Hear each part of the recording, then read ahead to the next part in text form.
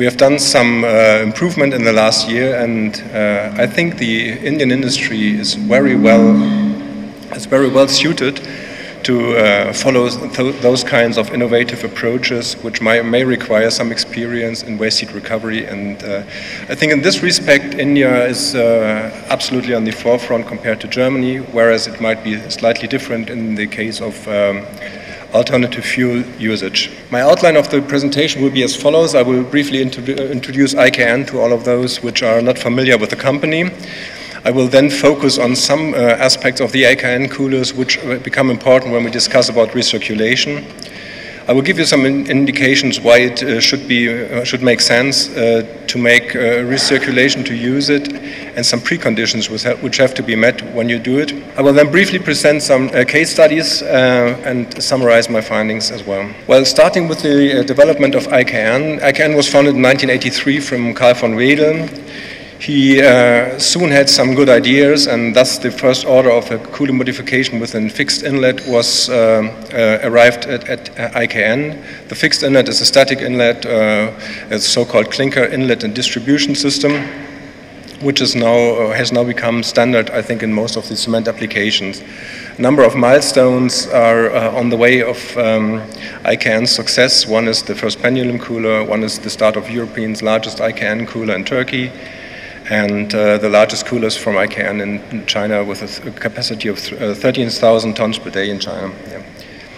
Well, just last year, the first uh, completely ventless cooler was started up in the UK, and I will present you also later on the case studies some examples uh, from that uh, project.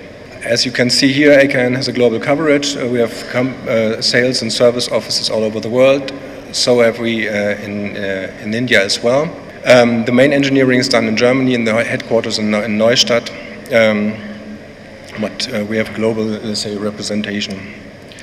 This is a short uh, image uh, of the cumulative uh, cement production with IKN equipment. I think it's impressive to see how much clinker is being produced with IKN equipment.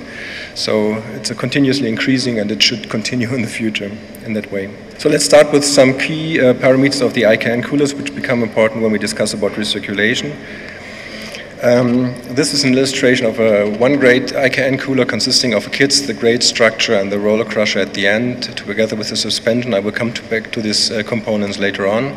You can have the same version with a, for larger capacity with a double grate and an intermediate crusher. When we speak about the KIDS, it's an integral part of the uh, of the uh, process because it distributes. It's a, it's a, kind of a welcome area for the clinker. distributes the clinker along the grate uh, width and also has a certain, let's say, uh, preparation uh, the purpose for the uh, clinker uh, bed in the, in the vertical direction. It starts with the first cooling, has an important effect on the recuperation of the system and prepares the bed also with by moving the fines from the topmost layer, from the bottommost layer to the top in order to uh, allow some voids in the lowermost part to uh, get efficient cooling. You can see this uh, kind of distribution in this image, left without and right with KIDS. You can see the, very straight and very good distribution with the kit system. It can be, um, um, it is an integral part of any new clinker cooler from IKN or retrofitted, but it can be also retrofitted to other existing coolers.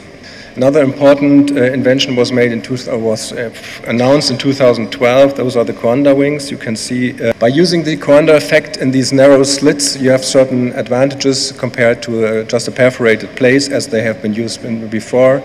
The, the beam is being bent towards the grate. You have a certain uh, kind of um, you have a certain kind of movement along the grate, and you have a, a very even aeration we, we, did not stop with this invention, we just developed it further. So last year, the, uh, uh in, in, 2012, the IKN uh, Coanda wings were introduced. The basic reason was to improve the uh, air transport and some other things. Those are Uh, the less clogging tendency, the previous design had some pockets at the end and uh, we, we, got rid of those pockets and now we have less clogging in that region. We have uh, easy possibility to clean because these slots are very good accessible. We have an increased airspeed in the slots and so in order to have uh, kind of a self-cleaning aspect and this will be, uh, will be important also when you discuss recirculation because you need a very good and perfectly working grate bed and we have a less pressure drop. That means we can get more energy, uh, more air through the through the grate for uh, cooling. When we come to the mobile, mobile structure and to the LPS, this is a schematic sketch of the um, of the of the grate structure. With the LPS, we have a, a wear-free linear pendulum suspension where you have a linear movement of the mobile frame which allows us uh, uh, to have a gap, perfect gap management. That means all of the air is going through the plates and not uh, along the plates, and so that means perfect aeration of the plates and also of the clinker bed.